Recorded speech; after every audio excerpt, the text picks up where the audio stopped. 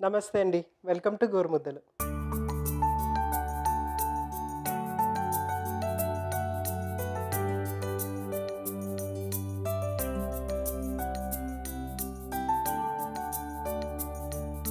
లాలీ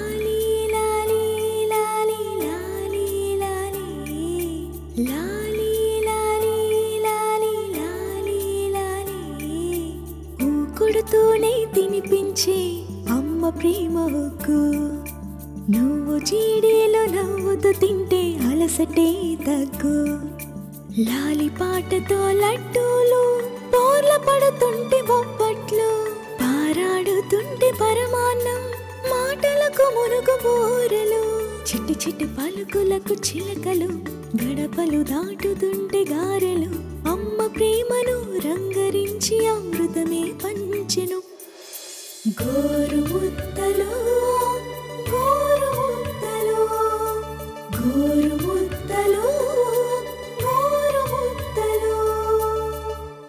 దోశ అనేది చాలా కామన్ బ్రేక్ఫాస్ట్ మన ఇళ్ళల్లో. ఎందుకంటే ఇడ్లీ పిండి దోశ పిండి ఇవి ఎప్పుడు రెడీగా పెట్టుకుని ఉంటాం. ఎనీ టైం రెడీగా వేసేసుకోవడానికి పిల్లలు ఎప్పుడు అడిగినా కూడా రెడీగా చేసి ఇవ్వడానికి రెడీగా ఉంటాయి అన్నమాట సో దోశని డిఫరెంట్ డిఫరెంట్గా ట్రై చేయటం అనేది కూడా చేస్తూ ఉంటాం. ఎందుకంటే దానిపైన కొంచెం ఎగ్ వేసి ఇంకొంచెం దాంట్లో పోషకాలు ఇంక్రీజ్ చేసేటట్టుగా. ఎందుకంటే పిల్లలు తీసుకునేటప్పుడు కొంచెం వాళ్ళు తినే ఆ కొంచెం ఆహారంలోనే ఎక్కువ పోషకాలు వచ్చేటట్టుగా ట్రై చేస్తూ ఉంటాం పేరెంట్స్ అందరూ కూడా అలాగే చేస్తూ ఉంటారు. ఎందుకంటే పిల్లలు బాగా పెరగాలని ఎప్పుడు కూడా మైండ్ వాళ్ళది. వాళ్ళు ఏం తింటున్నారు ఎలా తింటున్నారు ఇవన్నీ ఎప్పుడు వాళ్ళు ఎప్పుడు కాన్సన్ట్రేట్ చేసి ఉంటా ఉంటారు అనమాట పేరెంట్స్. ఏది మంచిది ఏది మంచిది కాదు. ఏదైనా చెడు పదార్థాలు తినేస్తున్నారా? ఇలాంటివి కొంచెం ఆ, టెన్షన్లో అలాగా కొంచెం స్ట్రెస్ అయి కూడా ఉంటారు. అయితే రెగ్యులర్గా చేసుకునే దోశలో కూడా ఏంటంటే మనము ఎగ్ యాడ్ చేయటం కానీ వెజిటేబుల్స్ యాడ్ చేయటం కానీ ఇలాగా డిఫరెంట్ వెరైటీగా చేసి పెట్టడం అనేది చూస్తూ ఉంటాం అనమాట ఈరోజు నేను అలాగా దోశని చాలా వెరైటీగా చేసి చూపించబోతున్నాను. దాని పేరే బీట్రూట్ దోశ.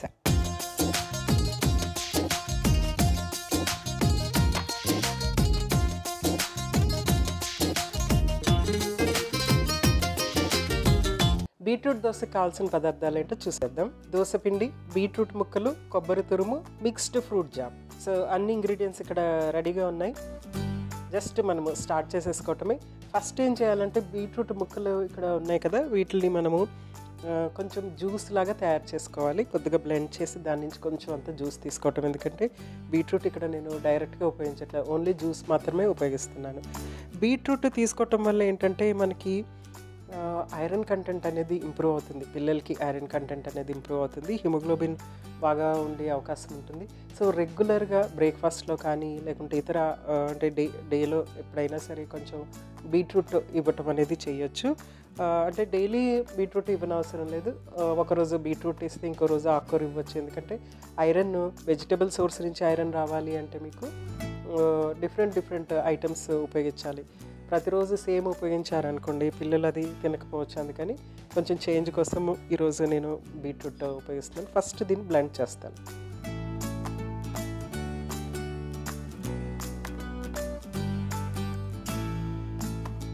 సో బీట్రూట్ ముక్కలు బ్లెండర్లో వేసేసి కొద్దిగా వాటర్ యాడ్ చేస్తున్నాను. ఎందుకంటే మనకి జ్యూస్ కావాలి కాబట్టి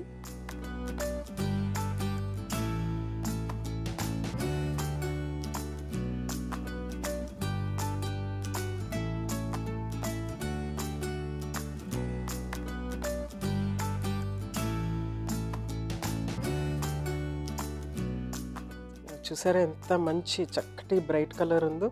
సో మనము ఇది ఒక్కటే కాదు దోశ అనే కాదు. ఎనీ బ్రేక్ఫాస్ట్ ఫుడ్లో మంచి కలర్ఫుల్గా ఉండాలి అని అంటే మాత్రం వెరైటీ యాడ్ చేయాలి కలర్ఫుల్గా ఉండాలి. తర్వాత ఐరన్ కంటెంట్ పిల్లలకి కొంచెం ఇంప్రూవ్ చేయాలి అంటే డెఫినెట్గా బీట్రూట్ డిఫరెంట్ డిఫరెంట్ బ్రేక్ఫాస్ట్ రెసిపీస్లో ఉపయోగించుకోవచ్చు. సో ఇది మనం ఏం చేద్దామంటే ఒక కప్లో తీసేసుకుంటాను ఫస్ట్. సో బీట్రూట్ చక్కగా బ్లెండ్ చేసుకున్నాం. దీన్ని నీట్గా స్ట్రెయిన్ చేసేసుకుందాము ఫస్ట్. సో ఒక బౌల్ తీసుకుంటున్నాను.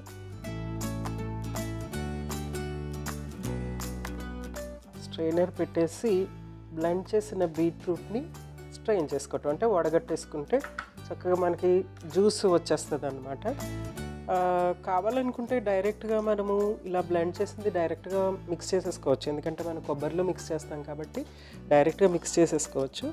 ఆల్రెడీ కొబ్బరి ఉపయోగిస్తున్నాం కాబట్టి టూ మచ్ ఫైబర్ అవుతుంది పిల్లలకి.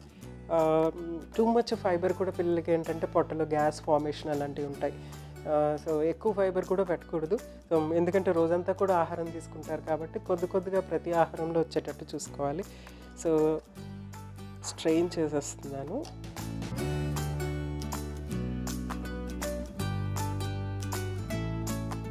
చూడండి చాలా మంచి చక్కటి జ్యూస్ వచ్చేసేసింది బీట్రూట్ జ్యూస్. దీంట్లో ఆల్రెడీ తురుము పెట్టుకున్న కొబ్బరి మిక్స్ చేస్తున్నాను. సో తెల్లటి కొబ్బరి మిక్స్ చేసేటప్పటికి పింక్ కొబ్బరి. దీనికి కొంచెం టేస్ట్ యాడ్ చేయాలి కాబట్టి కావాలంటే మనం షుగర్ కానీ హనీ కానీ బెల్లం కానీ ఉపయోగించుకోవచ్చు. నేను ఇక్కడ కొంచెం అంటే సేమ్ కలర్ ఉంటుంది అనేసి జామ్ ఉపయోగిస్తున్నాను ఒక spoon jam mixed fruit jam. పిల్లలు బ్రెడ్ పైన పెట్టుకొని తింటూ ఉంటారు ఒక్కొక్కసారి దోశలో కూడా జామ్ పెట్టుకొని తింటూ ఉంటారు. సో అందుకని ఇక్కడ జామ్ యూస్ చేస్తున్నాను. అదొక మంచి డిఫరెంట్ టేస్ట్ వస్తుంది డిఫరెంట్ ఫ్లేవర్ వస్తుంది. ప్లస్ ఈ కలర్ ఇంకా ఎన్హాన్స్ అవుతుంది. చక్కగా మంచి పింక్ ఫిల్లింగ్ రెడీ అయిపోయింది మనకి ఇక్కడ.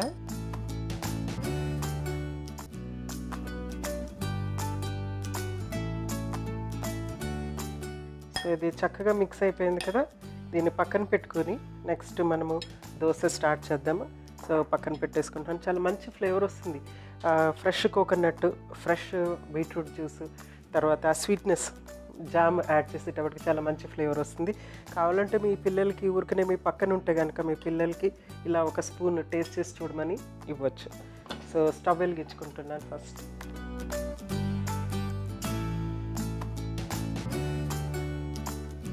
దోశ కాబట్టి ఫ్లాట్ పాన్ పెడుతున్నాను.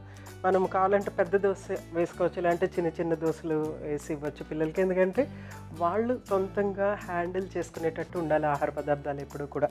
మనం అన్నం ఇచ్చినా లేకుంటే చపాతీ ఇచ్చినా లేకపోతే ఉప్మా ఇచ్చినా లేకుంటే ఏ బిస్కెట్లు ఇచ్చినా ఏది ఇచ్చినా కూడా వాళ్ళు సొంతంగా హ్యాండిల్ చేసుకునేటట్టు ఉండాలి.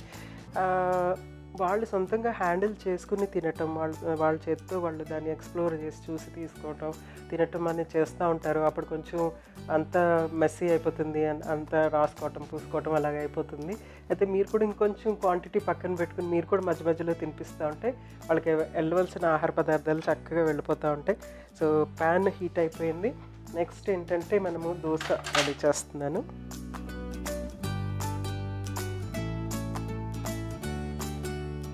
ఇక్కడ కొంచెం కొంచెము చిన్న చిన్న దోశలు యాడ్ వేస్తున్నాను. ఎందుకంటే పిల్లలు ఈజీగా తింటానికి ఉంటుంది అనేసి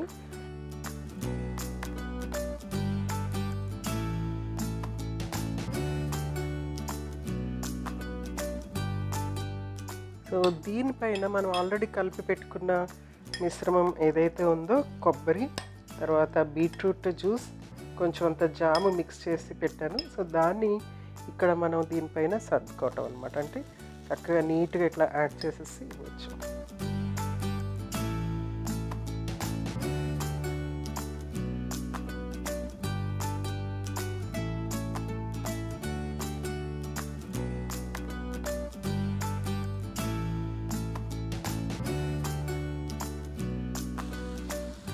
సో ఒక సైడ్ కాలిపోయింది. సో నెక్స్ట్ మనం తిరిగేసి కొంచెం కాలిన తర్వాత తీసేసుకోవటం. స్టవ్ ఆఫ్ చేసేస్తున్నాను. ఆల్రెడీ కుక్ అయిపోయి ఉంటుంది.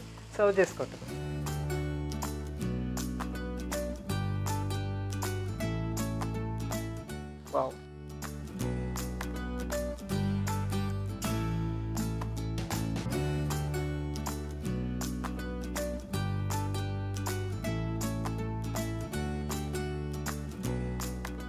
సో మనకి బీట్రూట్ దోశ రెడీ అయిపోయింది. అయితే మీకు గమనించారా లేదో నేను ఇక్కడ ఆయిల్ యాడ్ చేయలేదు. ఆయిల్ కావాలంటే యాడ్ చేసుకోవచ్చు లేకుంటే వెన్న నెయ్యి ఏదైనా యాడ్ చేసుకోవచ్చు. ఇక్కడ ఏంటంటే ఈ ఫ్రెష్నెస్ ఇది మనం మనం ఉపయోగించేది నాన్ స్టిక్ ప్యాన్. సో మనకి ఈజీగా దోశ వచ్చేస్తుంది. తర్వాత ఈ ఫ్రెష్నెస్ ఏదైతే ఉందో జామ్ తర్వాత బీట్రూట్ తర్వాత కోకోనట్ ఈ ఫ్రెష్నెస్ ఏదైతే ఉందో ఆ ఫ్రెష్నెస్ రిటైన్ చేయడానికి ఆ ఫ్రెష్నెస్ అలాగే ఉండటానికి ఆయిల్ యూజ్ చేయలేదు ఇక్కడ. ఎందుకంటే జామ్ అనేది ఒక డిఫరెంట్ ఫ్లేవర్ వస్తూ ఉంటుంది. సో కావాలంటే యూజ్ చేసుకోవచ్చు కానీ ఇలా కూడా చాలా చక్కగా ఉంటుంది. ఇలాగా ఆయిల్ యాడ్ చేయకుండా లేకుంటే గీ కానీ వెన్న కానీ యాడ్ చేయకుండా ఇలా ఫ్రెష్గా చేసి తీసుకున్నప్పుడు ఏంటంటే పిల్లలు ఎక్కువ తీసుకుంటూ ఉంటారు. ఎందుకంటే నూనె కానీ నెయ్యి కానీ వెన్న కానీ ఇవి ఏం చేస్తాయంటే సెటైటీ ఇచ్చేస్తాయి. అంటే తిన్న వెంటనే ఇంకా చాలు అన్నట్టుగా అనిపిస్తుంది. నో డౌట్ రుచిగా అయితే ఉంటుంది డెఫినెట్గా. కానీ సెటైటీ అనేది తొందరగా వచ్చేస్తుంది అనమాట అంటే చాలు అనిపిస్తుంది. సో అప్పుడప్పుడు ఇలాగా ఆయిల్ లెస్ కింద ఇలా ఫ్రెష్గా చేసిస్తే కనుక వేడివేడిగా తీసుకుంటే పిల్లలకి ఎక్కువ ఆహారం తీసుకుంటారు. అంటే బ్రేక్ఫాస్ట్ ఎక్కువ తీసుకుంటారు. చాలా చాలా డిఫరెంట్గా కూడా ఉంటుంది. అంటే రెగ్యులర్ దోశ కంటే ఇది చాలా డిఫరెంట్గా ఉంటుంది. సో చూసారు కదండి బీట్రూట్ దోశ? దీనికి కావాల్సిన పదార్థాలు తయారు చేసే విధానం మరొకసారి చూద్దాం. బీట్రూట్ దోశకు కావాల్సిన పదార్థాలు. దోశ పిండి బీట్రూట్ ముక్కలు కొబ్బరి తురుము మిక్స్డ్ ఫ్రూట్ జామ్. ముందుగా బ్లెండర్లో బీట్రూట్ ముక్కలు కొద్దిగా నీళ్ళు వేసి బ్లెండ్ చేసుకోవాలి. తర్వాత ఒక మిక్సింగ్ బౌల్లో బ్లెండ్ చేసిన బీట్రూట్ జ్యూస్ తురిమిన కొబ్బరి జామ్ వేసి బాగా కలుపుకొని కాసేపు ఊరనివ్వాలి. ఆ తర్వాత స్టవ్ వెలిగించి ప్యాన్ పెట్టి దోశ పిండిని చిన్న చిన్న దోశలాగా వేసుకుని దానిపై నానబెట్టిన మిశ్రమాన్ని వేసి రెండు వైపులా వేయించుకొని ఒక సర్వింగ్ ప్లేట్లో తీసుకుని సర్వ్ చేసుకుంటే బీట్రూట్ దోశ రెడీ. చూసారు కదండి బీట్రూట్ దోశ? ఎంత చక్కగా ఉందో చాలా కలర్ఫుల్గా కూడా ఉంది. బీట్రూట్ ఎప్పుడు ఉపయోగించినా సరే కలర్ఫుల్గా ఉంటుంది. ఇక్కడ ఒక చిన్న థింగ్ మీకు చెప్పాలి ఎందుకంటే బీట్రూట్ తిన్నప్పుడు యూరిన్ పింక్ కలర్గా రావచ్చు. లేకుంటే బీట్రూట్ కలర్లో రావచ్చు. సో అది చూసి మీరు కంగారు పడిన అవసరం లేదు. ఎందుకంటే బీట్రూట్ చక్కగా తిని ఉంటే కనుక మీ పిల్లలు కొంచెం యూరిన్ పింక్ కలర్లో వెళ్ళే అవకాశం ఉంటుంది. సో నథింగ్ టు వరీ అది నార్మల్లే తర్వాత మళ్ళీ నార్మల్ అయిపోతుంది. రేపు ఇంకొక మంచి బ్రేక్ఫాస్ట్ రెసిపీతో మీ ముందు ఉంటాను. అంతవరకు మీ జానికి నమస్తే.